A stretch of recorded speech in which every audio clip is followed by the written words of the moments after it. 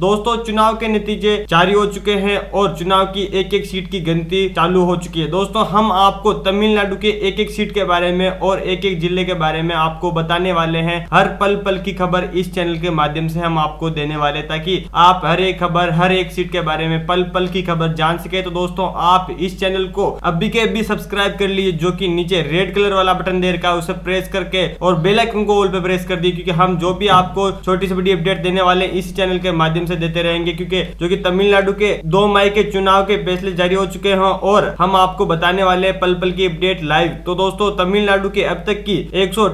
सीटों की वोटिंग हो चुकी है और इसमें से ए के प्लस बीजेपी को जो की दोनों का गठबंधन है इनको सिर्फ सितर सीटें मिलती हुई दिखाई दे रही वही डीएम के प्लस कांग्रेस को एक सीटों पर दिखाई दे रहा है दोस्तों एक सीटों की अच्छी खासी लीड बना रखी है कांग्रेस ने वही अदर के खाते में एक सीट आती हुई नजर आ दोस्तों पल पल की अपडेट चाहते हो तो चैनल को अभी के अभी सब्सक्राइब कर लीजिए